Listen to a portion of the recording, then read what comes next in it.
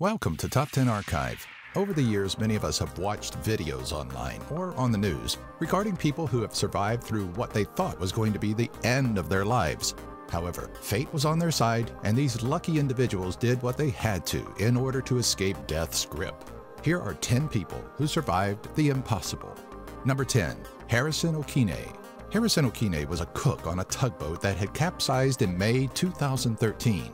After going underwater, he had barricaded himself in a room where he was trapped and surrounded by sharks and barracudas that were eating the remains of the other crew members on the boat. Harrison Okene survived within an air pocket for over two days on just one can of Coke while sitting on two mattresses trying to stay afloat. A dive crew came to retrieve the bodies of the crew members, and to their surprise, they found Harrison. Now that Okene is back home with his family, he made a vow to God that he would never go to sea again. Number 9. Coolidge Winesett. After retiring, we imagine a peaceful life filled with fishing, gardening, and relaxing. Coolidge Winesett, a 75 year old retiree from Virginia, could not have predicted the situation he was about to get himself into. Winesett commonly used an outhouse in order to relieve himself, until one day the dry rot got the best of him. He had fallen through the outhouse and into the playpen of his own waste. Winesett was stuck for three days, unable to get out of the five foot or one and a half meter hole due to being partially paralyzed after a stroke. A mail person became concerned with unchecked mail and decided to check on him. Hearing Winesett's calls for help and seeing his crutch still outside the outhouse led to Winesett's rescue from the Dookie of Hazard. Number 8. Matt Suter. Imagine lounging around your grandmother's trailer in nothing but your underwear when all of a sudden a tornado decides to take you on a 1,300 feet or 400 meter joyride. On March 12th of 2006, Matt Suter, a 19-year-old student from Missouri, was lifted out of a trailer by a tornado. The only injuries he had were minor cuts and one head wound that required five staples. After landing, he made it to a neighbor's house to soon find out his other family members survived under the remains of the trailer. Matt holds the world record for longest distance carried by a tornado. Number 7. Mauro Prosperi.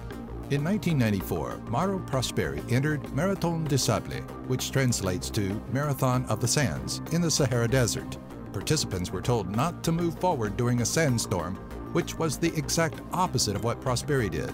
He ended up off course, and after 36 hours and running out of food and water, Prosperi found an abandoned Muslim shrine where he ate bats and used his own urine for a source of hydration. Not wanting to die in that fashion, he attempted to kill himself by slitting his wrist with a knife he had on him. Due to the dehydration, his blood became thicker and clotted, after nine days of venturing in the Sahara Desert, Prosperi was found and taken to a nearby hospital. Number 6. Juliane Koepcke On December 24th of 1971, LANSA Flight 508 was struck by lightning and split over the Peruvian rainforest, leading to the death of 91 out of the 92 passengers. Juliane Koepcke was still buckled into her seat as she plunged 10,000 feet or 3,050 meters through the rainforest canopy before landing on the ground. The 17-year-old survived the crash with a severe cut on her right arm, a broken collarbone, and an eye swollen shut. With only sweets that she found for food, Juliane spent nine days making her way through the rainforest vegetation until she found a stream and followed it until she found a boat and shelter.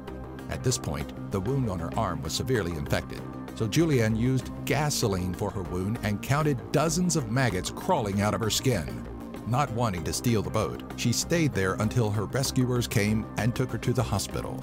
Number 5. Ricky Megee Waking up face down in a hole with dingoes trying to eat you isn't necessarily the best way to wake up. In 2006, Ricky Megee, an Australian man who had been drugged by a hitchhiker after his car broke down, survived 70 days in the Australian outback. Megee had built himself a shelter by a dam and survived off of eating raw leeches, grasshoppers, and drying out frogs. Instead of moving forward to find civilization, Megee stayed mostly at his shelter. After accidentally jumping out in front of a farmer's jeep, Ricky Megee was taken to a hospital where he was treated for malnourishment. Number 4. Hugh Glass in August of 1823, Hugh Glass was part of a fur trapping group in Perkins County, South Dakota, when he surprised a grizzly bear with two cubs. After his trapping partners killed the bear, Glass was left with exposed ribs, suppurated wounds, and a broken leg. Two men were directed to stay with him until he died, but shortly after the group left, they did too. After gaining consciousness, Glass set his own leg and used bear hide to wrap it. He leaned against a rotting tree to let the maggots eat his flesh to prevent gangrene, before surviving six weeks on roots and berries until he made it to the Cheyenne River. There, he ran into friendly Native Americans who gave him enough supplies until he finally made it back to Fort Kiowa. Number 3. Amy Racina Amy Racina planned on a 17-day solo trek in California at the Kings Canyon National Park.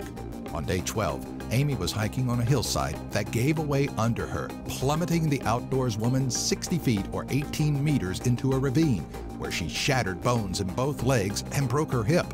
Knowing that no one would come to look for Amy for another five days, she spent three days and nights dragging herself with her hands through the ravine until another hiker heard her calling for help.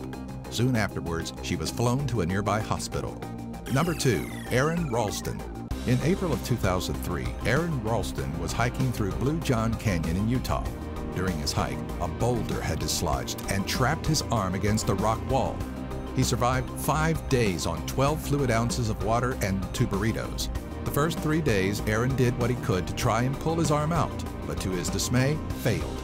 After that, he started getting things together to amputate his arm. In order to do so, he had to break his own radius and ulna and spend an hour removing the rest of the arm with a cheap 2-inch knife. He had eight miles to walk to find his truck, but luckily ran into a family who gave him Oreos, water, and alerted the police. Six hours after amputating his arm, Aron Ralston was rescued. Number 1. Norman Ollestad Jr. Norman Ollestad Jr. was 11 years old when his plane crashed into the San Gabriel Mountains during a blizzard. His father died during the crash, and he was left with his father's girlfriend, Sandra, who suffered from a broken arm and a severe head injury. Unfortunately, during the storm, Sandra had fallen down the mountainside to her death. Against all odds, Norman plunged forward and made the trek down the mountain until nine hours later, he was finally rescued. Have you or do you know of anyone who has survived a near-death experience? Do you have an idea for a future top 10? Let us know in the comments section below. Be sure to follow us on Twitter, Facebook, and our website, top10archive.net. And if you like this video, be sure to give it a thumbs up and share it with all your friends.